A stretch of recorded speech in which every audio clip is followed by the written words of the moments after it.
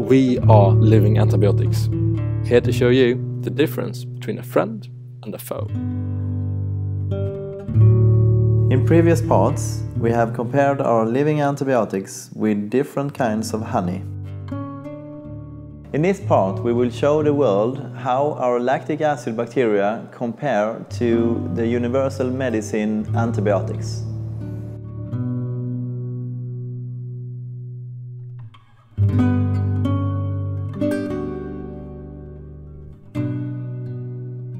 Against one pathogen, antibiotics have proven to be an effective weapon. The only problem is that wounds and infections rarely contain one single pathogen, but many different kinds.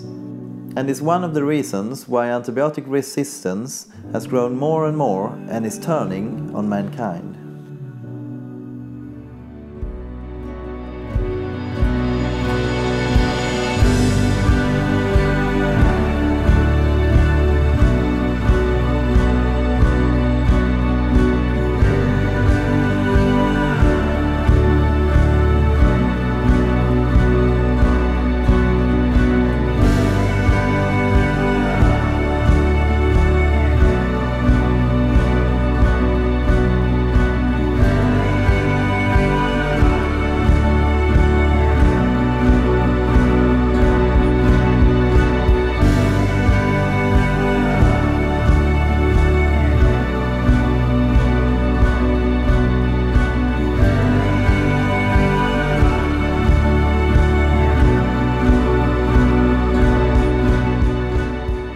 The results from our experiments have shown us what mankind has been fearful for the past decades.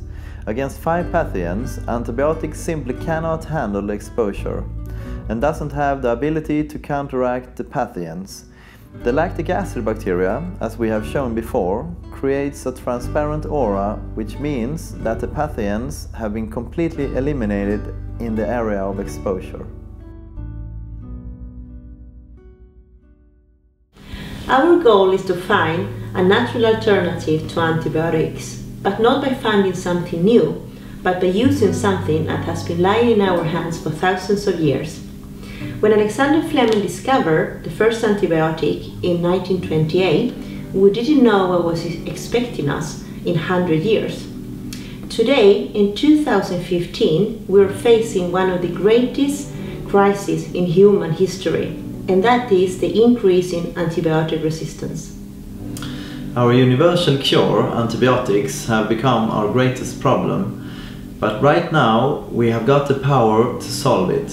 We are convinced that the living antibiotics is the solution, but we need your funding to make this known, to make it big, and to make things right. We need you to help us to help you and your children and all generations to come.